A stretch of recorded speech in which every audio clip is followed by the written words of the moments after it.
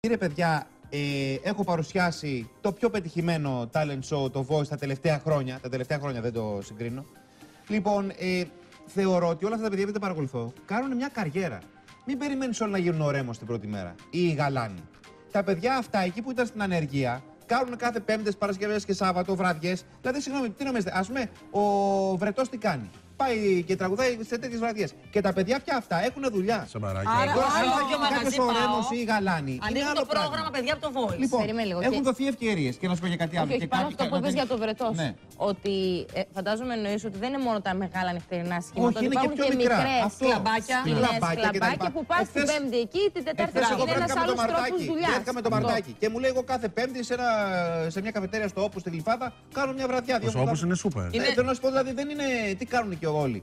Το άλλο είναι το εξής. Ότι παιδιά όπως ας πούμε ήταν ο Νίνο, όπως ο Οικονομόπουλος. Ο Δήμος Ο Αναστασιάδη. Δήμος Αναστασιάδης γίνανε πρώτα Ο ονόματα. Ισαΐας Μέσα από Ματιά. τα show. Η Ο Τάμτα, Ισαΐας. ο Τάμτα. Η Ματιάμπα. Τάμτα, συγγνώμη, να πάμε και στο, ποιο- και στο έντεχνο. κότσιρας. Η Ραλία.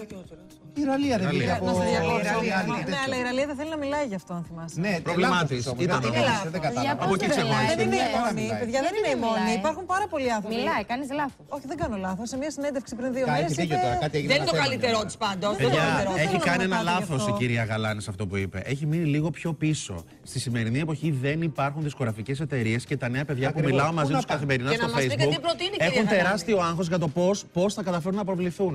Δεν υπάρχει άλλη διέξοδος. Πρέπει να πάνε σε ένα τέτοιο προϊόν. Η κυρία Γαλάνη το σκέφτεται πιο ρομαντικά. Παλιά που έλεγε τα πιο ωραία τα πράγματα με το ραδιόφωνο Πλέον οι κτλ. δισκογραφικέ εταιρείε δεν θέλουν πες το. Έρχεται δηλαδή η EMI που έκανε το Voice και σου λέει μόνο αυτούς που εγώ θα ξεχωρίσω από το Voice θα πάρω. Ακριβώς. Να, γιατί, γιατί ξεκινάει ο άλλος με μια δημοσιότητα. Δεν έχουν επιλογές Τι τα να παιδιά. κάνουμε τώρα, αυτό είναι. Δεν είναι, και να, σας πω- δεν είναι και όλα τα reality ίδια. Δεν είναι δηλαδή Ναι, Big Brother απλώς παλιά που ήταν αυτό που- κλειδαρότρυπα. το Εγώ talent διαφωνώ σε show. κάτι μαζί Ποια σου. είναι η ιστορία; Πες που διαφωνώ. Διαφωνώ το στο ότι νομίζω ότι ο- αυτό που λένε ότι όσο πιο παλιά, τόσο πιο καλά. Δηλαδή, α, το τελευταίο. πιστεύω εγώ όσο πιο Θα σου παλιά, πω. τόσο πιο καλά. Όχι, θέλω να σου πω κάτι και να μας διορθώσει ο Θέμης που έχει μουσικές γνώσεις. Νομίζω ότι σε μεγάλο όνομα, μιλάω για πρώτο όνομα τώρα, νομίζω ότι το τελευταίο πρώτο όνομα που έχουμε δει που έχει βγει από talent show ήταν ο Νίκος Οικονομόπουλος. Γιατί είναι μικρό όνομα είναι οικονομόπουλος. Για εμείς Όχι, είπα μαγαζιά. το, είπα το Εννοείς ότι τελευταίο δεν μεγάλο υπάρχουν άλλα όνομα. μετά. Ότι μετά δεν έχουμε ρε παιδί δει άτομα που έχουν φτάσει στην Περίμενε. πρώτη Ο γραμμή. από Οικονομόπουλος δεν talent έφτασε την show. πρώτη μέρα. Περίμενε. Ο Νίνο κτλ. Θέλει λίγο χρόνο. Μετά άλλαξε και Είναι χώρα. κάποιες Ναι, αλλά εποχές. ο Νίκος Είμαστε στην θυμάμαι ότι εποχή. Είναι άλλες Είμαστε εποχές, στην Άρη. εποχή. Ο Νίκος βγήκε την εποχή που τα μαγαζιά δούλευαν Τρίτη Κυριακή Άρη. Ακριβώς. Ναι, δεν το Καθόντουσαν μια θυμάμαι μέρα. αυτό η αλήθεια. Τα είναι. παιδιά αυτά βγήκαν στην Δεν εποχή θυμάμαι. που τα μαγαζιά Τις δουλεύουν κρίσεις. μία Σάββατο, ένα Σάββατο βράδυ. Στην εποχή του Capital Control και την κρίση. Είναι άλλο πράγμα. Στους Ολυμπιακούς Και να πω και αγώνες κάτι βγήκε ο τελευταίο. Οικονομόπουλος. Επειδή είπε η Ναι. Δήμητρα Γαλάνη ότι τότε φεραιόντουσαν πιο αγνά τα μέσα. Και έχει δίκιο. Ναι, Γιατί σαφώς. δεν υπήρχε τηλεόραση, δεν υπήρχαν εκπομπές, δεν υπήρχαν. Το κακό όμως θέλω να σας πω δεν το έχει κάνει η τηλεόραση. Γιατί η τηλεόραση είναι ένα πολύ δημοκρατικό μέσο.